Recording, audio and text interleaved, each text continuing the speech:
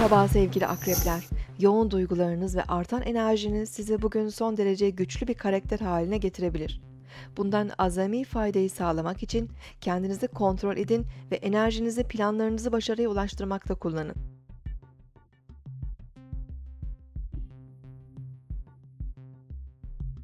Bugün 18 Ocak 2016 Pazartesi, Ay günündeyiz. Boğa burcunda ilerleyen Ay, güven ve istikrar arayışımızı arttırıyor.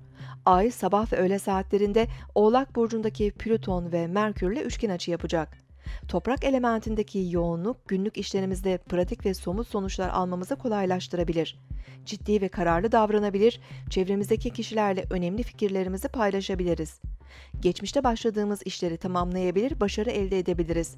Ancak yeni konulara başlamak ve imza atmak için Merkür Retrosu'nun bitmesini beklemek daha doğru olacaktır. Akrep burcundaki Mars, Balık burcundaki Neptün'le üçgen açı yapacak. Sezgilerimiz yol gösterici olabilir ve yaratıcı faaliyetlere odaklanabiliriz. Hırslı ve kararlı eylemler hayallerimizi gerçekleştirme fırsatını da verebilir. Venüs ve Jüpiter arasındaki kare açı kişisel zevkler ve arzularımızı abartmamıza neden olabilir. Özellikle iştahımızı kontrol etmekte zorlanabiliriz.